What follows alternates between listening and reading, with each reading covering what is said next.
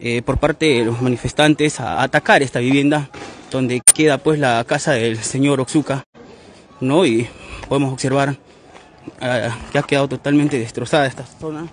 Eh, vemos ahí la, la vivienda en donde pues este se ha podido dañar no todo esto Un destrozo querían entrar y está la puerta querían derribar.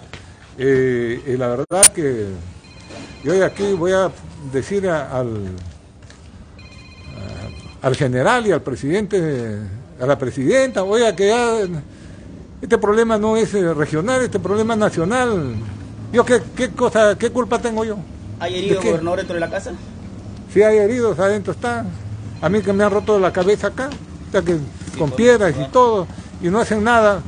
Oiga, aquí, señor Premier Ministro, ¿cómo usted manda a una guerra sin arma a sus soldados? Lo más absurdo, que costo social, ah, sí, que me maten a mí, no hay costo social, por favor. ¿Yo qué cosa hago, qué tengo que ver en esta huelga yo? Para que vea usted todo, mi casa lo han destrozado y estaban queriendo incendiar. ¿Qué pasa si yo haya matado acá? El ejecutivo que resuelve este grave problema. No, no, no es mi, esto escapa de mi control. Yo, ¿por qué tengo que sufrir esta consecuencia de la irresponsabilidad de muchas personas a nivel nacional? Bien, la vivienda está destrozada, destrozada. eh, las Atrás ventanas, también, las usted, ventanas el carro, lo que han destrozado acá, ¿eh? ahí podemos- camioneta. eh, le han destrozado la, la camioneta. Ahí están las ventanas rotas, las ventanas totalmente rotas, destrozadas. Eh, podemos observar cortes en el brazo del gobernador, en la cabeza, eh, golpes.